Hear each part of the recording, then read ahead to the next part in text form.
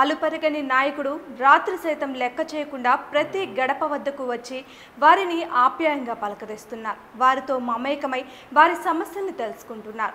మైలవరం ప్రజల సమస్యలు తెలుసుకొని వాటి పరిష్కారం కోసం కృషి చేయాలనే తపన పట్టుదలతో అడుగులో అడుగు వేస్తూ ముందుకు సాగుతున్న మన నాయకుడు వసంత వెంకట కృష్ణ ప్రసాద్